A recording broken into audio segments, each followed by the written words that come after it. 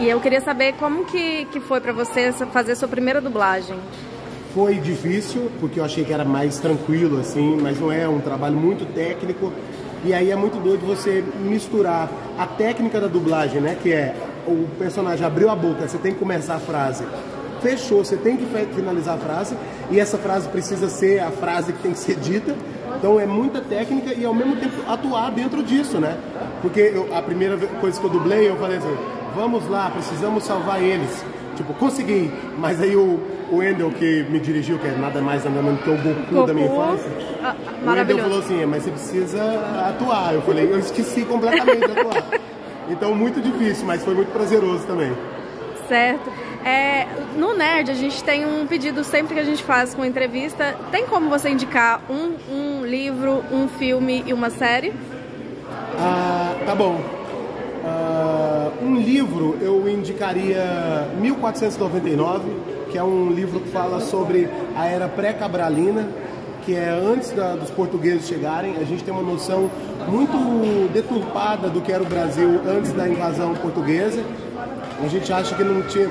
É justamente essa noção de que não havia moradores aqui, ou de que essa terra não tinha dono, que faz. A, que, que, que é mãe da nossa relação com os povos indígenas. Então, eu acho que é um livro importante de ler. Uh, um filme, Benzinho, com Otávio Miller, é um filme brasileiro genial, é um dos filmes mais bonitos que eu já vi na minha vida. E uma série, eu sou fraco de série, você acredita? Eu sou muito fraco. Rick, indica uma série pra eu indicar uma série. O, o Rick tá enchendo o saco. Em qual série você tá enchendo o saco pra assistir? Sim, é sim? Sim. Sim. Sim. Eu não, não vi, mas eu tô indicando aqui porque eu confio muito em Rick.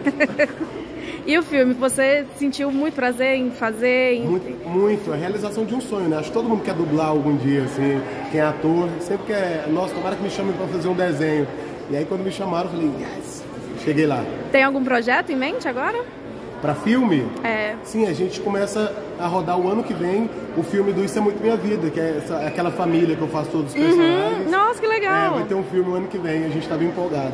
E você é o roteirista do, do filme que, que rodou aqui em Palmas, né? Aham. Uhum. E qual, qual é a perspectiva para esse filme?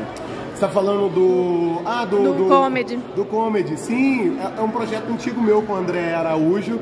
E eu, a gente escreve, eu acabei fazendo o argumento do filme e aí não, não pude participar do filme. Então, assim, a minha expectativa tá a mesma do público, de saber como é que é esse filme.